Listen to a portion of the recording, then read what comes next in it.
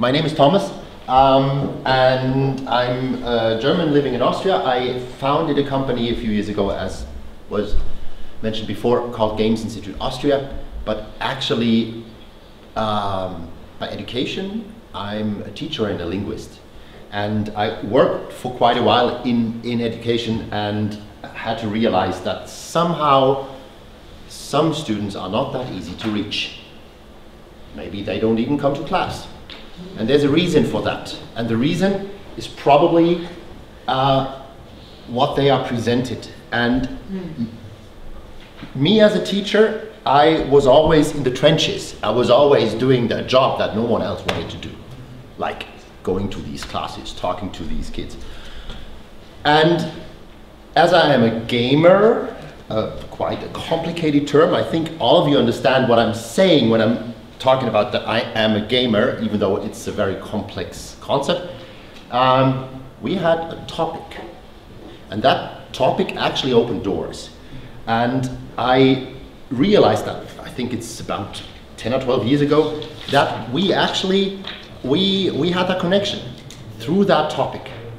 And we, we had something to discuss. And, and um, therefore, I finally came up with the idea, actually, games are just sets of problems. They are something to learn. They are something to solve. They are challenging and you have to master them. So what they offer is not that far away from education, but somehow they are not offered in education. Um, so I just dropped out. I thought, well, okay, I'm done with that. I will do my own thing. And I started that company. I did not bring a photo of me. I do not present myself in the presentation. You can see me live here. I think that's enough. Uh, but I still need to talk a little about me and why am I doing this. Because if you have a look at that first slide, you are probably a bit puzzled. There are so many words that you probably do not understand. Of course, it's about entrepreneurship. You should have gotten that now. okay? So that's what we're here for.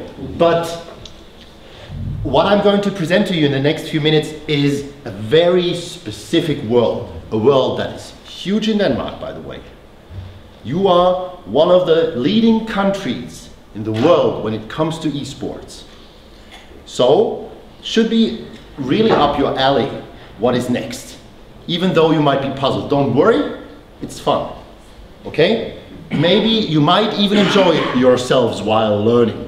But I don't want to lead you somewhere uh, you might be uh, not feeling well. Okay, so esports. I don't know. You might have heard of that concept. Esports is something quite, well, special. It starts out with the writing. You can see here, I wrote esports with a capital E in the beginning. Then I start out my, my definition. It's a quote, so that's why I, uh, it's written that way, I start with a, with a small e and a capital S. And then there's another one and another one and another one. People don't agree on it. The more it gets accepted, the more it looks like a real word, like with proper pronunciation. But esports is actually pretty straightforward. It's people playing games against each other competitively. So we are actually talking about something similar to sports competition. I say similar because there's a, an ongoing discussion. It's mostly about rights and money. But um, the question if esports is sports is one that is moving people for a few years now. For most people doing esports, it doesn't matter at all. They are doing esports anyway. But they, they share a similar approach, a similar mindset to real world athletes. And besides that, so we are actually talking about competitiveness, about people being competitive, people achieving in the digital realm. So we are talking about something that is mediated by human-computer interfaces, which sounds quite okay when it comes to education. Uh, we heard about Odense robotics. We heard a lot about tech startups. So we are sort of in that area, but it's a bit different. Because I don't know if you have ever played any video game or even an esports game, we are talking about something that is very specific. We are talking about these games. You might not have heard most of them. League of Legends, a MOBA, a multiplayer online battle arena. Yeah, sounds weird. It's not that easy to explain. I see a few people grinning already and nodding, uh, so I'm not a complete alien here, but we are talking about very specific games, for example, LOL or CSGO or Valorant or Fortnite. You might have heard Fortnite before. It's your kids playing that, you know? and Rocket League and PUBG Battlegrounds and Hearthstone and so on and so on and so on. These are the major tier esports. Major tier means these are the most played and most viewed esports games in the world. Just a few weeks ago, there was the World Championship of uh, League of Legends, and the final had a concurrent viewership of more than 73 million people watching live. So we are talking major events. We are talking major companies, and we are talking big money. So this is quite interesting when it comes to entrepreneurship especially as some of the, of, uh, the most successful organizations, for example, uh, in uh, CSGO are actually Danish. There is Astralis, one of the best teams in the world. Uh, maybe two years ago you might have said the best team, but it's back and forth. And there are a lot of young Danish people who are very much into esports. They live esports. All of their life is esports. And um, these are the kids that actually go to your schools or might not even come to your school because of LOL maybe or PUBG, I don't know. And it might be interesting to reach them. Might be interesting to actually uh, use this fascination, this competitiveness, this um, attitude of being the best in education. So, I don't know, it was 2019, Rasmus, I think. I came to Denmark once before. I met Rasmus. And just, I think over coffee, we were talking about, well, okay, so what's up for the future? And I said, you should do esports at your, edu at your institution. He said, okay, well, okay, what is esports exactly and why? And then we we started developing that idea. And today, there is esports at VUC. And it's quite successful. And it's even connected with Esports Denmark, the national professional organization. It's in connection with DGI, with the, I, please don't let me explain what exactly DGI is. You might um, know it. And um, we are also planning on doing a project that has the title Reaching the Unreachables. So it's about using esports to bring in students that might not come otherwise and even use this fascination and this drive to bring them and be motivated and maybe even be an entrepreneur. because it's about that. Um, I said it before, esports is big. We are, we are talking about a market that is ever growing. You can see the, the stats here on the right. I, I just had to look up for, for the latest one because they change all the time. And they change for the better even. The estimate in 2020, last year, was that the, the viewership for esports globally in 2023 would be 650 million. This is the, the, the charts this year. 2021, we already have almost 730 million audience. And it's supposed to be 920 million in 2024, and I guess it's going to be going even higher. And we are, we're talking about stadiums sold out in a few minutes. So this is major sports, this is major entertainment, and it's something that the kids love. Need to, need to check the watch. Need to hurry a little. But esports is kind of a new thing. It started out, well, this is probably the oldest photo that you can find of an esports competition. It's from the late 70s, and I think it's an Atari Space Invaders competition. It's the first official, uh, it wasn't called esports back then, but it was the, one of the first major competitions to play video games against each other, more or less. And as you can see, it's just some random kids. And esports is that. It's a grassroots movement. You can go to any club, to any school, wherever in Denmark or wherever else, and you will find these kids doing it. Maybe they are fans of Fnatic or Astralis or whatever, but they do it on a local level. They do it with friends, they do it online, but they also do it offline. It's probably one of the major topics in your schoolyard every single day. It's the thing that boys talk about.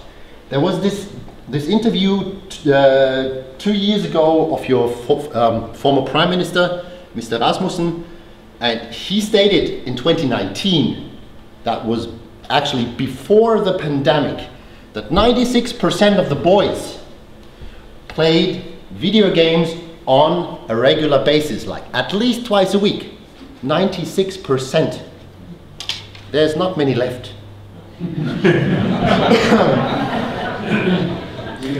it's just everyone. So, so might be might be an interesting topic for society, for entrepreneurs, for uh, education. And why is that important for this conference and for this project? Because if we talk about esports as, as a culture and as an industry, it is quite interesting. We are talking about a digital form of entertainment. We are talking about a global competition and we are talking about agile businesses. I will do a workshop in the afternoon and you are all invited. You don't need to go to the other workshops, okay? because it's the best one, maybe. Um, but we will, we will try to do esports and we will, of course we will play a game too. A simple one. No worries. It's not going to be League of Legends, it's not going to be Fortnite, and it's not going to be PUBG. It's a game you probably don't know. But that's the clue.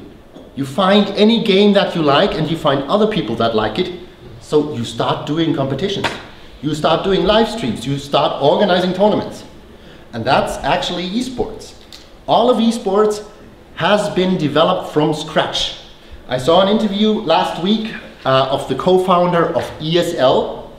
Um, ESL, I think it's Turtle Entertainment, and they, they were bought by, by MTG, a Swedish media house, and um, he was talking about the early beginnings and how they carried all these heavy computer monitors to this bar and to that place and so on.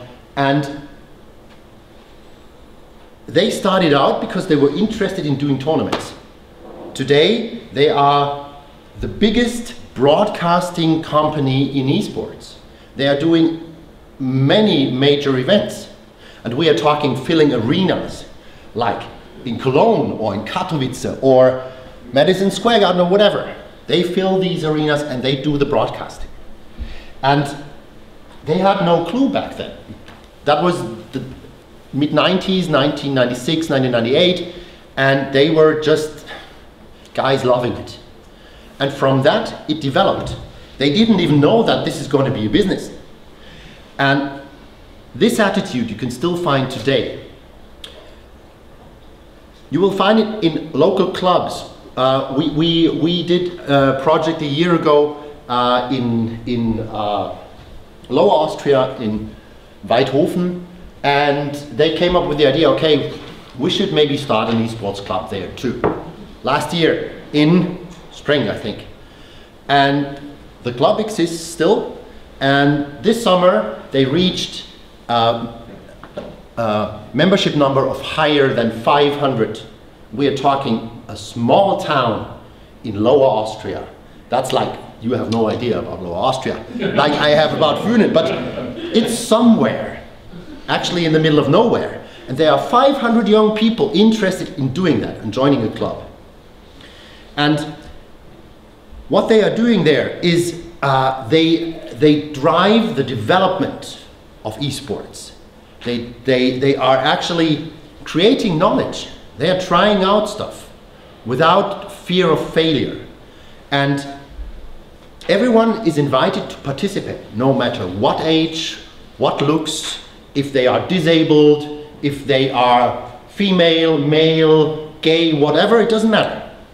And the user involvement is or has always been the driving force in esports. Because there's a, quite some research on it by now. And there's, there's this one text by uh, Tobias Scholz from uh, University of Siegen. And he describes the members of the esports community as over energetic, over enthusiastic, you can see it here, and over dynamic. So sounds like a good fit for some projects to me. So esports is what is called an ecosystem of interest. You take part in an ecosystem because you love to, which is actually something that should be fostered. And within this ecosystem, there is a special case of entrepreneurship. That is called user entrepreneurship. This is something I will, I will uh, dive a little deeper in a few seconds, but this is something that is very specific to these communities because you can only provide or develop new products and services if you are an insider. You could read a book about esports and listen to me, I don't know, for a week, and you would not, still not feel like an insider because you need to be part of this community. Yes, that's a nice one, huh? Okay, so when we are talking about participation in esports, we are talking about this ecosystem. And the ecosystem right now can be described best like this. These are esports related professions. So there are jobs in esports today that are part of any of the categories. Okay? So there are nutrition experts, there are wellness and mental coaches. We were just yesterday we were having a conversation about about the coaches that uh, that are with Astralis. There's one from the military, there's one from the handball team. Um, quite diverse.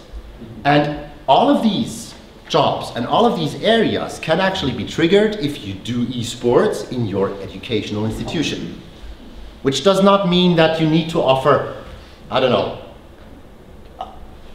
performance optimization or, or administration jobs. This develops on its own within this ecosystem. A lot of major companies that are part of that ecosystem, one of the most famous probably being Twitch, acquired by Amazon in 2017 or something for 970 million US dollars, was quite small back then, uh, is a thriving company they, they are having these 923 million um, viewers and they are asking for these specialists. They are looking for web developers, they are looking for social media optimizers, they are looking for marketers, they are looking for press offices, etc., etc., etc. So there is a large number of jobs in Denmark, in Europe, and all over the world that is in connection with esports. And it's the same with other sports academies. I would always recommend a kid going to such a sports academy. You might be interested in football, go to such a football academy. Not because you are the next Messi, but because being part of that, you develop a completely different mindset and you create a network before you even start working. So the people who go through these academies are well sought after. They are people to hire because they bring all of that already. So if you are part of the esports ecosystem, you can um, go to television, you can go to a newspaper, you can go to a legal firm even. we have in Vienna, we have uh, one accountant that is specialized on esports, and we have one law firm that is specialized on esports. It's one only so far, but they are, they are coming. And these are the jobs of the future. Probably no one is able to, to, to predict what is going to happen, but this looks like it's going to stay. So these are these ecosystems of interest. I won't go, through all the, all the text in my slides. I, feel, I think it's boring. I guess you are probably able to read. And I was talking about it before. Ecosystems of interest are just something that you need to be part of. If you are able to use the potential that is presented within these, you can offer exciting opportunities for students and probably also for businesses and organizations within your community. Um, what's good about it is that even though a lot of adults say, well, you should come out of your cave and do something that makes sense and you should learn more, but the kids don't care. They do that anyway. And with that, they actually prepare for the work of tomorrow. And there are a lot of skills that are, um, are to be developed within this ecosystem. I need to hurry, I see that, that I'm a little late. Okay, so um, finally, or oh, almost finally, this is user entrepreneurship. It is specific because you can only be a user entrepreneur if you are an active part of a community. So uh, you have that unique knowledge you have a non-monetary motivation. We were, we were, we heard that before, I think, from, uh, from you, that it's not only about founding businesses, it's about creating something new that is of value. It might be for your community, it might be for your city or whatever. Um, for esports, there are certain industry characteristics. Esports is fun, and that's why um, users are just more likely to, to do that because they enjoy it. They enjoy discussing it, tinkering, prototyping and stuff like that. And this is very specific to an entertainment industry, uh, which esports is. And finally, it is collective. It is not just one guy saying, okay, I'm going to revolutionize the world. It's, it's like these hubs. It's, it's the place to be if you are within this context, there are going to be a lot of new ideas. But gamers are different. I always need to include that slide. So if you think now, okay, I'm going to bring that to my business, I'm going to bring that to my, uh, to my institution, to my school, watch out for that. Okay? It's a prosumer culture, which means they are not only consuming, they are also producing at the same it's participatory and we have so-called affinity spaces. So it's a group that belongs to the same space because they love to be there. This is very affirmative and it is necessary uh, for these groups and these approaches to work. So you cannot do esports if you don't know anything about it. You need to be authentic within this ecosystem something that teachers are very much challenged by, by the way. Um, they are learners and teachers at the same time. They have a growth mindset and so on and so on and so on. I will go deeper into that in my workshop in the afternoon that everyone is going to attend to. And um, I would just like to show a quick one here. This is a book. It is written in German. As everyone has has one Danish slide, I need to bring one German slide to the conference, and it's about skills that you learn in gaming. Uh, it's um, um, organization, systematic, methodical approach, adaptability, grit, communication, collaboration, all of these skills that everyone is talking about. I won't go too deep into that. That's what the workshop is for. And I would just, the photo is done. I would just like to show you that there is material already that you can use.